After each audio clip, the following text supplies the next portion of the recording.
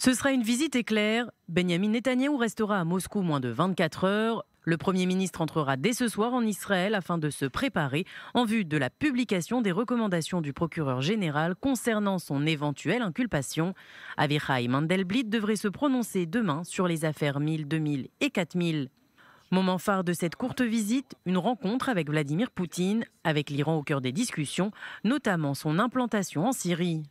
La consolidation iranienne en Syrie est au centre de nos discussions. Nous agissons contre elle, nous attaquons ses bases et nous continuerons à agir contre elle. Et j'en parlerai au président.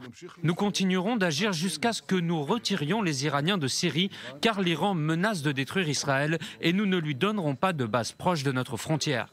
Bien que rapide, cette visite en Russie est très importante pour Israël. Les relations entre les deux pays sont très tendues depuis la destruction d'un avion militaire russe par le système de défense antimissile syrien déclenché par un raid de Tsal en septembre dernier. Benjamin Netanyahou devait se rendre à Moscou la semaine dernière, mais le Premier ministre israélien avait finalement annulé son voyage pour consolider l'alliance entre des petits partis de droite en vue des élections législatives du 9 avril. Benjamin Netanyahou et Vladimir Poutine s'étaient brièvement rencontrés en novembre dernier en marge de la conférence pour la paix à Paris, mais c'est la première rencontre officielle entre les deux dirigeants depuis l'incident en Syrie.